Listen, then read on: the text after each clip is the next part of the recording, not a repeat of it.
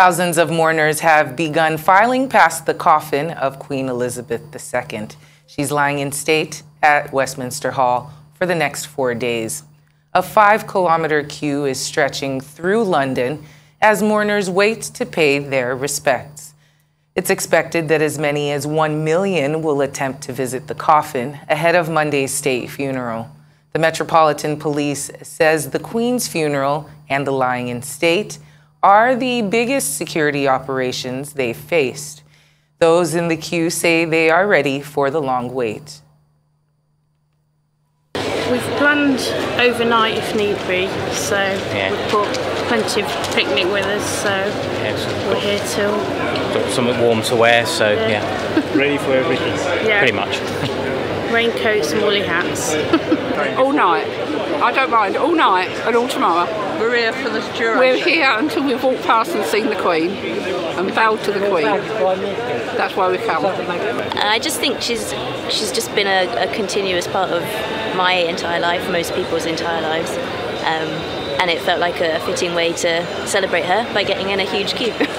I'm ready for the wait. I come to say thank you for all that uh, the Queen has given to our country and uh, to say goodbye and God bless you.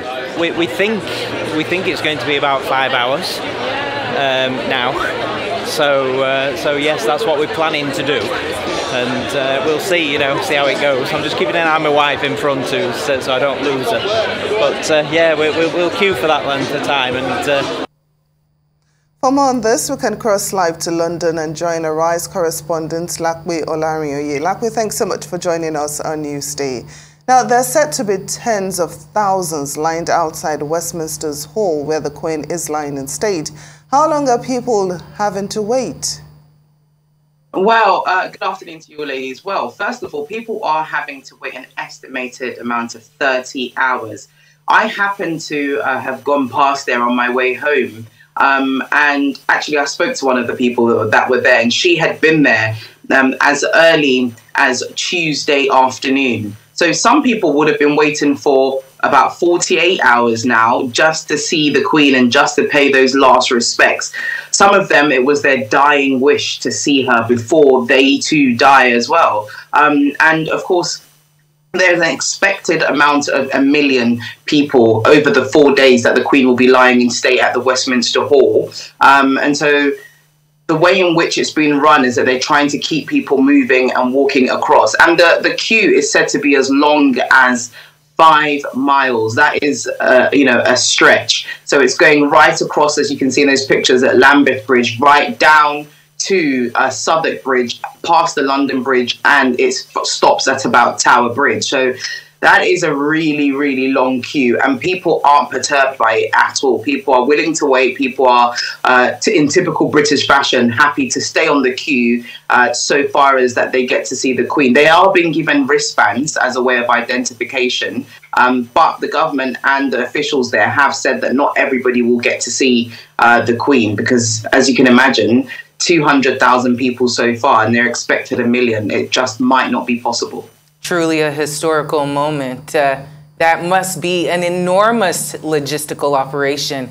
What security parameters are in place that you can see? Well, there are a few uh, ways in which that the security officials are being able to man this amount of crowd. Really, first of all, everybody has to queue on one side of of the bridge. You're not really allowed to walk uh, as freely as you'd like. So there's an orderly queue happening. There are said to be about over 30,000 police officers across London, um, many of which have been deployed from other parts of the country to basically uh, control the crowd. The terror threat isn't as high as it usually is, um, and that's because officials and all the kind of uh, security officials are more concerned about the sheer amount of crowd that they're expecting, and they can't honestly predict. And just the pictures that you're looking at now is just uh, nearby uh, Buckingham Palace, I believe, and uh, that just shows you how many people, and there's said to be more and more people. Um, so on ground at the moment, the security officials are basically uh, trying to keep people orderly together and not spread out. There's severe road closures. Transport wise, um, stations are said to be avoided because of the amount of people coming through those uh, specific train stations to get to places like Buckingham Palace, Green Park, and of course Westminster Hall, where the Queen is being laid to rest. So the security officials have it under control, if you like, but it's unpredictable because the crowd seems to be getting more and more as the days go by. Well, Lape, the Queen's funeral guest list is starting to take shape. Who can we expect to attend?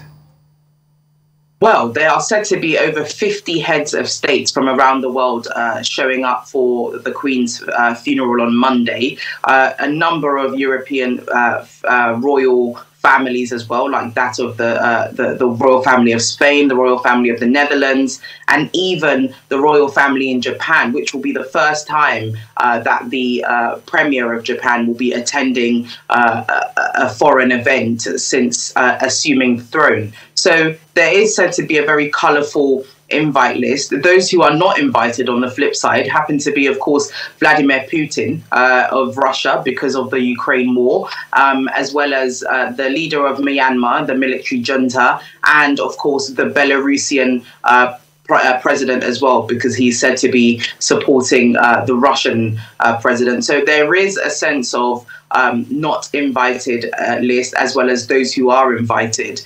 Um, it's also worth noting here very quickly that the capacity of the venue where the funeral will be taking place can only take 2,200 people. So some of those heads of states have been told that they can't travel with their security officials, they can't um, come with more than one other person, that possibly their spouse, and they've been advised not to drive to the venue. They are all being uh, transported in a bus, um, and that includes the royal families abroad as well as the heads of states from around the world albeit um, excluding the United States uh, President Joe Biden, who is allowed to drive to the venue.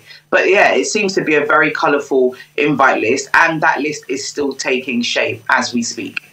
Well, Lape, but we're hearing reports that a group of MPs and peers are asking that the Chinese government's invite to the Queen's funeral should be withdrawn owing to the alleged um, genocide against Uyghur minorities. How true is this? That's correct. But um, as you can imagine, the royal family um, and the royal institution tend to be apolitical, especially across the, the reign, the 70 year reign of uh, the late Queen. She did not really express her political views and was always an advocate of soft diplomacy. I'm not really sure if the Queen would have wanted politics at her funeral, um, but at the same time, the interference of the British government um, may not be welcomed by the palace officials uh, simply because the invite was extended to China, um, but they may not show up, not because of uh, the supposed the genocide that's happening in China, but actually because uh, no, no, none of the heads of state in China have left since uh, the pandemic started in uh, early or late 2019. So there may be other reasons why they aren't coming, but uh, the political interference may just not be welcomed, and that's because of the way in which the queen, the queen chose to go about her reign, being neutral and apolitical, and of course being an advocate of soft diplomacy. And as most of the UK lines up to see the coffin in Westminster Hall, do you know what uh, plans they have for the king and his siblings and the other royals who might want to view as well without the uh, presence of the crowd. So yesterday, um, Howard, the, the royal family and the wider members of the royal family, like the grandchildren and the great grandchildren, had the opportunity um, to welcome the Queen's body uh, when she first arrived from Edinburgh, from Belfast, rather. Um, she was, they were able to um, welcomed the Queen at Buckingham Palace, and they held a vigil there. And that vigil dates back to 1936, known as the Prince's Vigil. And the first time it took place was when the Queen's grandfather died, and her father, along with his brothers, held the vigil and led that vigil, um, and they stand around the, the coffin um, and hold this vigil in honor and commemoration of the monarch's life. We've seen that happen twice now, first at Edinburgh um, in St. Giles's Cathedral and again at Buckingham Palace. And that opportunity was given to the royal family to have that intimate, private moment um, that they've been grieving quite publicly um, at the palace. Now, in terms of kind of when they would have more of that time would possibly be after the funeral, where the Queen is said to, her body is said to be interred at Windsor Castle, which is uh, a few miles away from Buckingham Palace. But they and the royal family and the wider royal family, who are all invited to the funeral, by the way, will be able to then go away and possibly have a quieter moment away from some of those cameras. Um, but for now, uh, because of the kind of family that, that the royal family are, um, you unfortunately, depending on how you look at it, they are having to grieve publicly uh, because this is about a life of service um, and a life of public duty. Um, but just in answer to your kind of second question, which was about the king, um, he is said to be resting in his country home in Gloucester, Gloucester um, in Highgrove. Um, he is having a rest day following a number of tours uh, that he's been doing around the UK, and he also has to be in Cardiff to welcome yet again another motion of condolence from the Welsh Parliament tomorrow, ahead, of course, of the Queen's funeral on Monday morning. Well, Lape, can you just very briefly tell us what time the funeral is expected to hold on Monday and how long is it expected to last? Well, the funeral is set to start at 11 a.m. on Monday morning. Of course, the heads of states and all the other invitees will have will come in before that. Um, it will be uh, led by the Archbishop of Canterbury, Justin Welby, um, as well as other uh, most senior reverends um, from the Church of England and wider. Typically we're going based off of all the lengths of the other services that have been happening across other parts of the UK. It's just over an hour. Um, but of course, all the pomp and pageantry that comes with um, royal events, it could um, go as far as two hours. It's just too early to say. But we do know that it will be starting at the prompt hour of 11 o'clock on Monday morning. Well, Lape, thank you so much for joining us this afternoon and for all of your commentary. It was very necessary at this time. Thank you.